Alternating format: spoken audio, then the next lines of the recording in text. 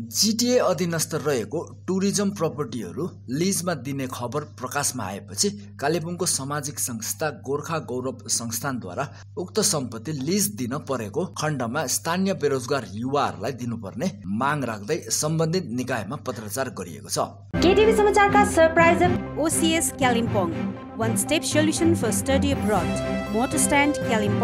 Himalayan shopping tenth mile musk house Kalimpong north बेङ्गलको आफ्नो electronic retail chain DPMI Siliguri India's leading paramedical institute Capital University, Jorthang, South Sikkim. Admission open for the session 2024-25. शुक्रबार बसेको कार्यकारी सभामा उक्त विषय उठान गरिएको छ सभापछि जिटिए अधीनस्थ रहेको टुरिज्म प्रपर्टी कफी सप आदि लिज दिने कुरा एक अङ्ग्रेजी दैनिकमा प्रकाशित गरिएको कुरा उठान गरियो। यदि जिटिएले ती सम्पत्ति लिजमा दिने हो भने स्थानीय बेरोजगारहरूलाई प्राथमिकता दिनुपर्ने संयोजक नरेन्द्र तामाङले आह्वान गरेका छन्। स्थानीय युवाहरूले व्यवसाय चलाउनु जिटिएले सहयोग गर्नुपर्ने उनले आह्वान गरेका छन्। यस विषयलाई उठान गर्दै जिटिए प्रमुख लगायत सम्बन्धित सभासदलाई ज्ञापन पत्र पठाइएको उनले बताएका छन्। नमस्कार जय गोर्खा सबैमा। र विशेष गरी गत सात यही सात महिना अथवा एक तारिकको दिन जुलाई एक तारिकको दिन चाहिँ हामीले एउटा खबर पढ्न पायौँ टेलिग्राफमा। अनि यो जुन चाहिँ खबर तपाईँहरूले पनि सायद पढ्नुभयो GTA plans to lease out tourism properties भनेर एउटा खबर हामीले टेलिग्राफमा पढ्न पायौँ अनि टेलिग्राफको यो खबर मुताबिक चाहिँ हामीले थाहा पायौँ कि जिटिएले जति पनि आफ्नो टुरिज्म प्रपर्टीहरू छ त्यसमा धेरै टुरिज्म प्रपर्टीहरू चाहिँ लिजमा दिने योजना बनाउनु भएको रहेछ। र अनि कतिवटा त दिइसक्नु पनि भएछ। सन्दकपू फालुटमा सिलगढीमा दिइसक्नु पनि भयो भन्ने हामीले सुन्यौँ। र तपाईँलाई थाहा छ हामी गोर्खा गौरव संस्थान जन्मेको नै पहाड बचाउनुलाई अनि पहाडको यो जुन हाम्रो सम्पदा छ हाम्रो जुन सम्पत्ति छ त्यसलाई बचाउनु सँगसँगै पहाडको गरिमा बचाउनु पहाडको गौरव बचाउनु र गोर्खा जातिको लागि काम गर्नुलाई हामी जन्मेको हौँ। र आज जुन प्रकारले पहाडको स्थिति छ त्यसको बखान मैले गरिरहनु पर्दैन तपाईँहरू सबलाई थाहा छ। तर यसलाई बचाउनुको निम्ति चाहिँ कसले के गर्दैछ र के गर्ने भन्ने कुरा चाहिँ अहिले प्रमुख छ। र यही कुरालाई मध्यनजर गरेर हामी गोर्खा गौरव संस्थान काम गरिरहेका छौँ। हामीले संस्कार संस्कृति सँगसँगै हाम्रो मान्छेलाई आर्थिक रूपमा कसरी सबल बनिनुपर्छ हाम्रो मान्छेहरू कसरी पलायन भएर गइरहेको छ हाम्रोमा भएको चिजबिजहरू कसरी बाहिरको मान्छेहरूले लगिरहेका छन् र बाहिरकोहरू आएर कसरी हाम्रो डेमोग्राफी नै यहाँ चेन्ज हुने अवस्थाको छ खतरामा छ त्यो बारे हामी काम गरिरहेका छौँ। र यही बिचमा चाहिँ अब जिटिएले लिज आउट गर्ने आफ्नो टुरिज्म प्रपर्टीहरू अब जस्तो मानिलिउँ कालिम्पोङै कुरा गर्नु हो भने डेलोमा छ दुर्पिनमा तपाईँहरूलाई थाहा छ कि छैन दुर्पिनमा पनि एउटा रेस्टुरेन्ट कफी हाउस छ जो चाहिँ धेरै वर्षदेखि बन्द छ रेलीमा गोर्खा हटहरू कफी हाउस छ गोरुबथानमा टुरिस्ट लजहरू छ। त्यसरी नै कफेरमा धेरै राम्रो टुरिस्ट लजहरू छ र यो लजहरू चाहिँ अब लिज आउट गर्ने भन्ने हामीले सुनेपछि चाहिँ हामीलाई धेरै चिन्ता लागेको छ। किन चिन्ता लागेको छ भने सर्वप्रथम त यो लिज आउट भएपछि यो कसले लिने?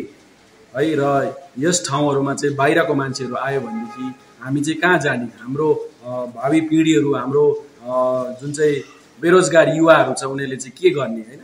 र यो अवस्था भएको छ। त्यहाँ जो मालिक बाहिरको आएपछि काम गर्ने पनि बाहिरका लिएर आउँछन् र त्यसपछि हामी चाहिँ तपाईँलाई थाहा छ हाम्रो सन्तानहरू चाहिँ आज काम खोजको खोजीमा बाहिर जानु परिरहेको छ। र आफ्नै भएको ठाउँहरू चाहिँ हामी अरूलाई लिज दिनु हुँदैन भन्ने हाम्रो एउटा विशेष बिन्ती बिछाउनको निम्ति हामीले आज एउटा पत्रचार गरेका छौँ। र विशेष यो कुरा सुनेपछि उहाँहरूले लिज आउट किन गर्नुभयो है के कारण छ त्यो सबै कुराहरूको पछि हामी जाँदैनौँ।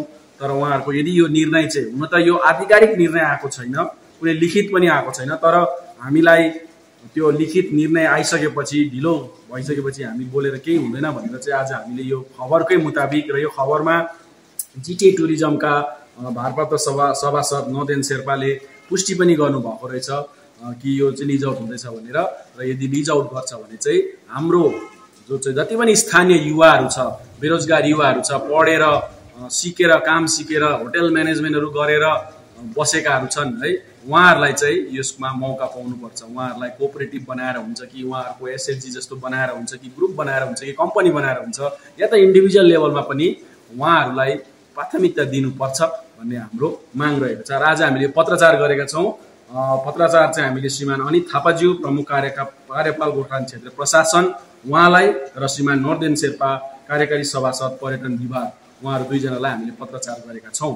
र यो पत्र चाहिँ हामीले जिटिए सभाका जो विपक्षमा बसेका भनौँ न सभासदहरू जो जो हुनुहुन्छ अर्थात् जिटिए सभामा रहेका अन्य सभासदहरू हाम्रो जुन चाहिँ यो प्रजातान्त्रिक मोर्चा पार्टीको सभासदहरू जो सत्तामा भएका राजनीतिक दलका सभासदहरू बाहेक रहेका अन्य सभासदहरू छ उहाँहरूलाई पनि हामीले यो कपी पठाएका छौँ र उहाँहरूलाई पनि बिन्ती गर्दछौँ कि तपाईँहरूले पनि यो कुरालाई चाहिँ जिटिए सभा हुँदाखेरि उठाइदिनुहोस् र यदि यो लिज आउट नै गर्छ भने लोकलले पाएको हुनुपर्छ हाम्रो मान्छेले पाएको हुनुपर्छ अथवा प्रायोरिटी चाहिँ दिएको हुनुपर्छ। अँ गर्ने मान्छे नै निस्केन र भने चाहिँ त्यो भिन्दै कुरा हो। तर यसरी अब सिलगढीको लिज आउट भइसक्यो अरे सन्दकु फारुटमा लिज आउट भइसक्यो अरे कुन बेसिसमा लिज आउट भयो? कुन आधारमा लिज आउट गरियो?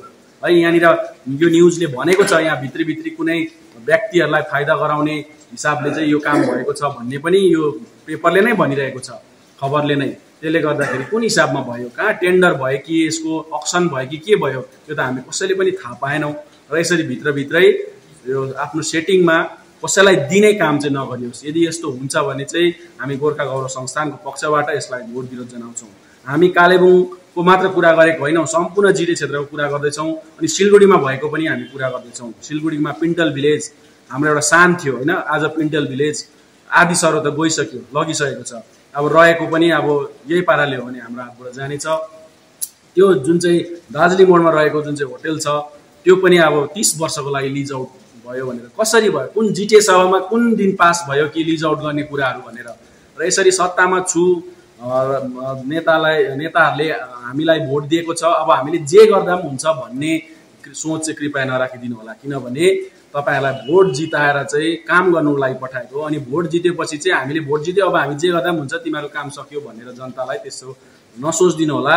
र यो लिज आउट गर्ने जुन कुन सभामा पास गर्नुभयो र यसको सिस्टम के छ त्यो चाहिँ कृपया तपाईँहरूले बताइदिनु होला। आज हामीले एउटा साधारण रूपमा तपाईँहरूलाई अपिल गरेर चिठी लेखेका छौँ र यो कुरा अझ अघि बढे हामी आरटिआई पनि गर्नै परे गर्नेछौँ र त्यस पश्चात अरू कानुनी प्रक्रिया पनि हामी गर्नेछौँ। सँगसँगै यदि यो कुराको सुनवाई हुँदैन हामीले भनेको कुराको भनेदेखि हामी हामी चाहन्छौँ हामी फिल्डमा निस्केर विरोध गर्नु नपरोस् र भनेर चाहिँ आज हामीले यो पत्र लेखेका छौँ र सम्पूर्ण जिटिएका जो विपक्षमा बसेका भनौँ अझै एडवर्ड सभासद अनि उहाँको हाम्रो पार्टीको जति पनि सभासदहरू हुनुहुन्छ उहाँहरूको लागि हामीले कपी पठाएका छौँ। विनय तामाङज्यू हुनुहुन्छ उहाँलाई पनि पठाएका छौँ। सुमन गुरुङ सभासद हुनुहुन्छ जो टिएमसीको हुनुहुन्छ उहाँलाई पनि हामीले यो लेखेर पठाएका छौँ। अनि पाल्देन तामाङ जो एकजना इन्डिपेन्डेन्ट सभासद हुनुहुन्छ कालेबुङबाट उहाँलाई पनि हामीले लेखेर पठाएका छौँ।